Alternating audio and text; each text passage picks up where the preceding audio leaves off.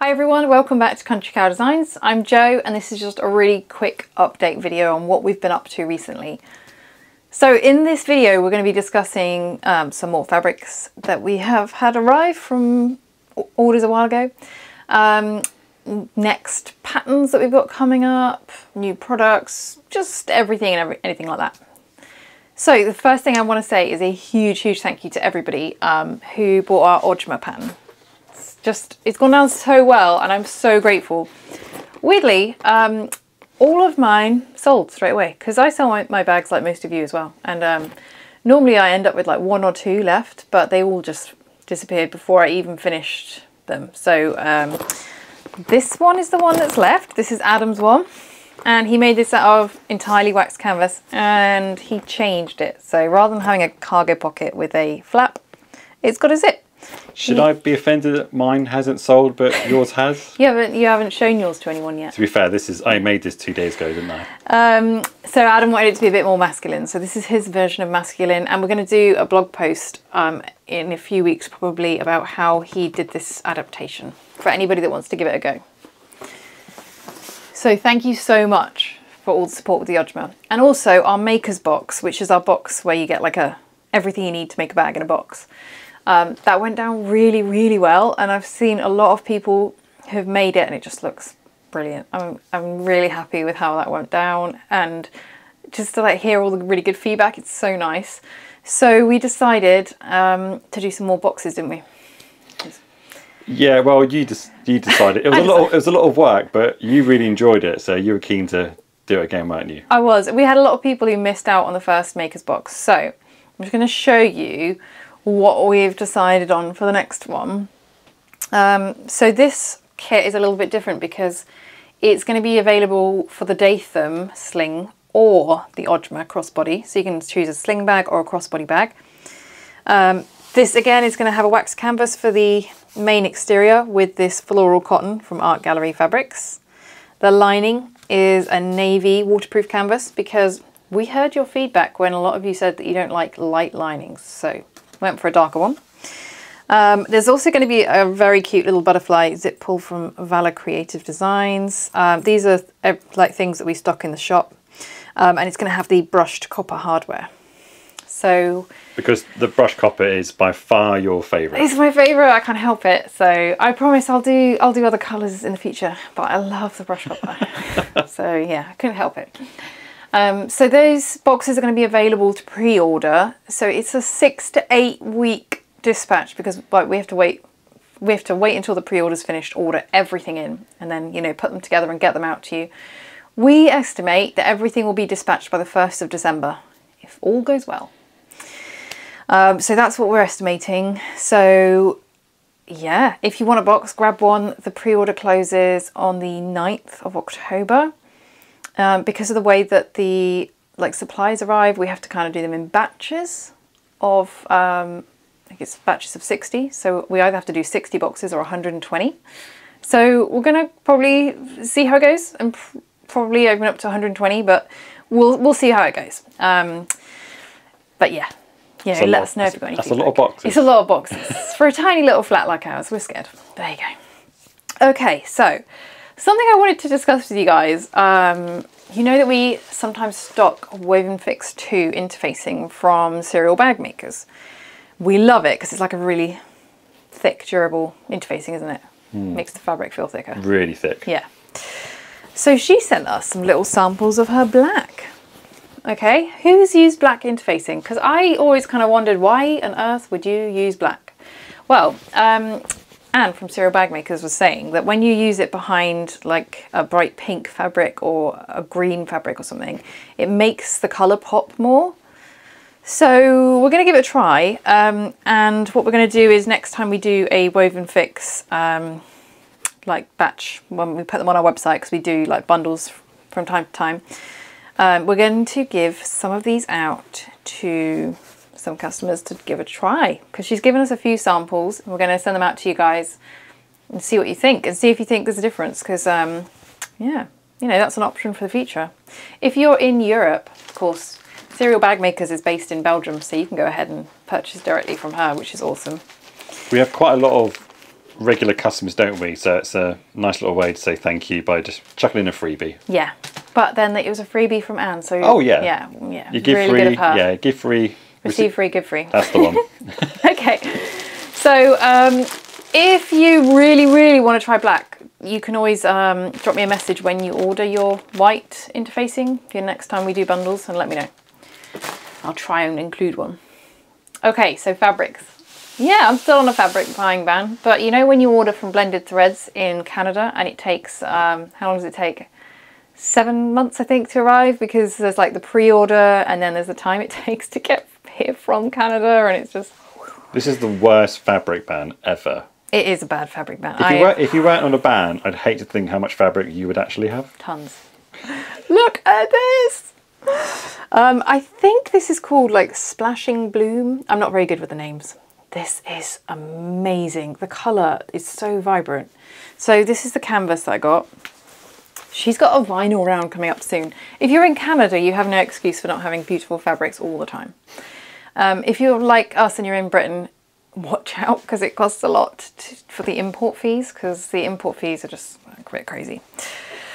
Expensive yeah. So um, i guess if you're in the uk if you can find like some friends to do it with at least then you only have to pay one handling fee because the handling fees are like 15 pound just you know for the courtesy of bringing something into the country. Okay this is another one of hers wow.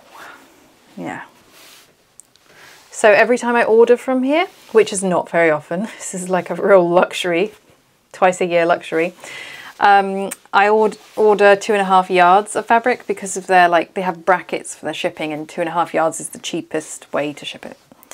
Okay, and then one more. Absolutely beautiful.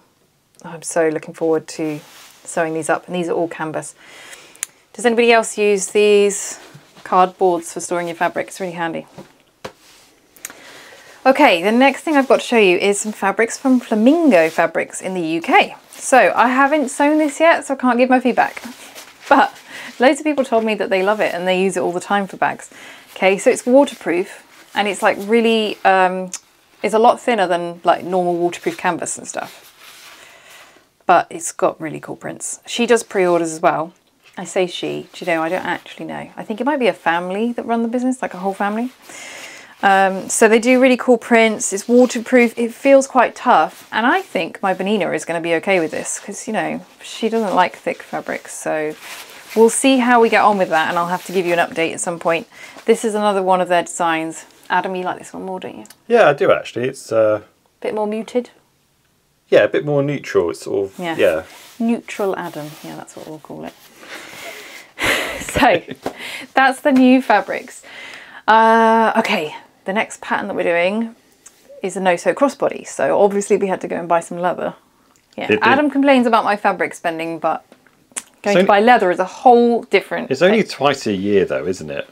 I don't think it's even that actually. But it costs a lot more though. Okay, so this is one of the rolls of leather that Adam bought. So when you buy leather, like real leather, you get it in a whole hide. So um, you can probably see just how thick it is.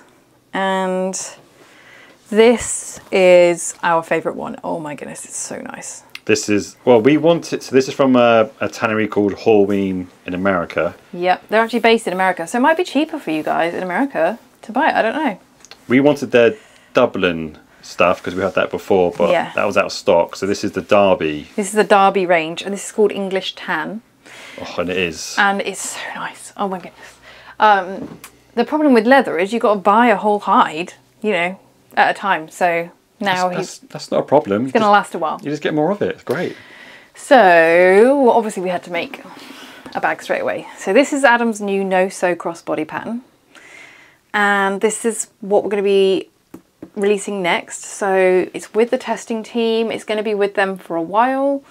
We are doing loads of options for the front flap. Um, so you can see with this one, it actually doesn't have a magnetic snap at all because we've been trying to give you like as many options as possible because the whole idea of this is that it's a no-sew pattern. Now, if you've got like those rivet back magnetic snaps, then you can use them no problem.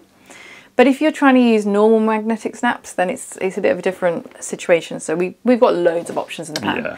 But honestly, I'm actually loving this without any magnetic. Well, that's because we didn't have the one we've been waiting on the one we wanted. Yeah. So I just made it, but it's turned out Really fine, nice. isn't it? It's So- great.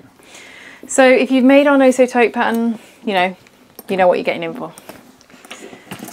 That was so demanded, wasn't it? Yes. All year we've had people We've had saying, loads of emails like, can you do a crossbody version? So there you go. Um, watch out for that. I think that's going to be November by the looks of it. Yeah, we need to do the video tutorial and everything once the testing team have come back to us with all their feedback. yeah, Um, okay, something else that we got in. It's just super cute. Uh, we got a couple of new products in. So one of them is, if you've seen our Instagram, you've probably already seen these turtle magnets. Oh my goodness, they're so cute. So we got them in rainbow, brass, copper. Um, so you can see they kind of like they just they disconnect and then you fit them through your fabrics. Um, oh, and tiny little turtle zips to go with them. So we're selling them like as a little bundle. We won't be stocking them regularly. They're just really cute and we just figured, you know, once off situation. So you get like a zip and a magnet in the bundle.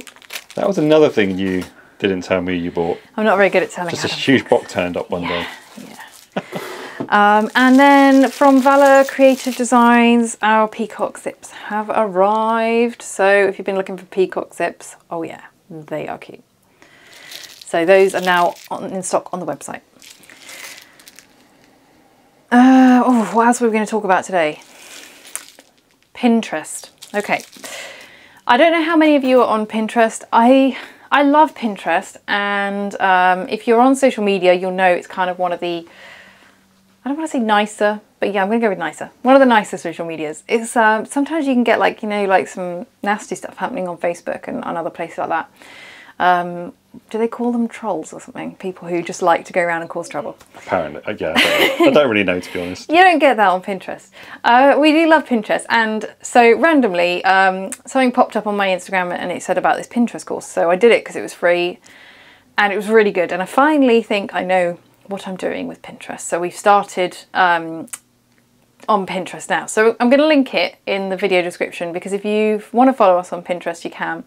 We're going to be trying to post like more regularly to that. Get get everything under control. Something else we've been wanting to do is a blog. Okay, so I was at first thinking like blogs feels like a 90s thing, a little bit outdated, but what we wanted to do because we get so many requests uh, for like tips and advice and stuff like that by email, we wanted to do like a blog post every week that will like have a different subject. So we're going to do like um, five tips for straight zips, um, how to get good photos of your bags, um, how to make a quick strap, uh, using leather in your straps. Uh, what else are we going to do? Adam? We're going to do challenges. We're going to do like yeah. the stash challenge where you have to use a piece of fabric that you've owned for at least a year to create a bag. And then like we can you can submit photos um, on social media and use the same tag so that everybody can see what each other's made. Things things like that. So this is what we wanted to we've been wanting to get off the ground. We've decided to finally just go ahead with it. That is going to be for our mailing list. So if you're already a subscriber, you'll start getting that now. Every week we're going to do just like one one email a week. It's going to have our blog in it. It's going to have um, any new products we've got, any special offers we've got for subscribers. Because if you subscribe, you know that we do special offers just for you guys. Um, everything like that. So we're going to try and do that once a week. So if you have subjects you really want us to like do, then let us know. Um, the first one has just come out now, and it's you might think it's a weird one. It's why why use a sewing pattern? Because if you follow us on social media, you know that me and Adam we like to use other people's patterns. Yeah, all the don't we? time. Adam made uh, the Guardian backpack by Lynn's Handmade. I've made loads of patterns by Sew Sweetness, Oro Rosa, Lavender and Twine. Oh, a lot of people. Swoon. Um, That's actually one of the perhaps disappointing things being a guy. There's not a lot of guy patterns, and I'm always looking for them, aren't I? Or trying to adapt Yeah. other patterns. So patterns are great. The more we have, the better. Yeah, so so this is actually looking at six reasons why we love to use patterns and and then you can comment and give your own opinion on how you feel about patterns and things like that. Um, so every week we're going to have a different subject coming out. So if you're not subscribed to our mailing list, you can click the link in the video description and you can sub- subscribe and you'll get that every week. Also, we have our November sale coming up. So every November and May, we do like a big sale. And if you're on the mailing list, you get 24 hour early access, which means if stuff goes out of stock, the mailing list guys get it first. So um, yeah, make sure you subscribe to that if you want to get those emails. Oh, what else have we got, Adam? We've got your leather backpack. Shall we have a look at that? Oh yeah, this is a this is a weird Speaking one. Speaking of Adam using other patterns, um, this is a leather pattern that Adam used. We will put the name of the pattern designer in the description because I cannot remember it. It's called the Camulus backpack, but I forget the name of the designer, yeah. which is annoying because it's actually she's. She's got a lot of lot There's some of cool really designs. cool designs actually. Um, this is a hand stitch bag. Adam hand stitched the whole thing, so for most of us, included. That was many evenings. Yeah. stitching away okay. and making all the individual holes. It's such an unusual shape, um, and the back pocket. Okay. It just looks like a Pokemon, but I can't decide what character. I think it might be Snorlax, but um, yeah, this is a pretty interesting. I mean, the leather is fantastic. So the yellow is Pueblo, and the tan is Bad Badalassi. But it's Carlo wax, isn't it? Yeah. It's quite a waxy uh, bag, but so Adam's pretty happy with that. Just something a bit different. Yeah, just something a bit different. Um, if you want to give leather stuff a go, we've got like a few little free leather patterns on our website, which are just like rivet only. And also Adam tried one of these recently. Look at this cute little envelope thing. Isn't that adorable? Um, this is from, what are they called? Maker Supply? Uh, it's a chap called Make Supply. Make Supply. He's got a YouTube channel, does a bunch of free patterns. So if you're looking to practice just cutting leather, and working with it. That one, again, is no stitching, yeah, no really sewing. quick. Um, this is a classic example of why you need the right die for your hand press because um, Adam set this without using a correct die. Yeah, it was, so. and they're they're quite cheap ones. They're not ours, are they? They're quite cheap, and I won't be using them again. so there you go. If you want to give you try hand at a little bit of leather, and you don't fancy hand stitching an entire backpack, yeah, something else to give a try. So thank you so much everyone for joining us. Um, we are a little bit behind on our next sewing sewing pattern because I managed to slip a disc in my back. I do feel like I'm about 100 years old. Uh, which is why I now have um, my laptop like desk here for a standing desk because apparently I shouldn't be sitting down anymore. Um, so because I haven't been able to sit for two weeks, I haven't been able to sew for two weeks but we are working we've done we've done a lot of other stuff we are still working on our next sewing sewing pattern not leather pattern and it's awesome i think i'm really excited about it. some it. of our customers can appreciate what it's like to have an injury and, and then can't do sew. anything creative it's pretty depressing so i'm sure people will have sympathy for you Jo thanks uh, it's been a tough two weeks not sewing um, but our next pattern is a big handbag oh, so cool. I'm really excited about it. I really like how it turned out. You even got me sewing it. I did. When you couldn't. Yeah, um, that's the only progress that we made. I got Adam to do some of the sewing, and basically he just complained because all the fabrics are too pretty, and he had to use my domestic machine. So there you go. So anyway, thanks so much everyone for joining us for this quick update. And um, sorry it wasn't actually that quick, but they never are. They? Hope to see you soon. Got any questions about today's video? Just let us know in the comments. Bye. Bye.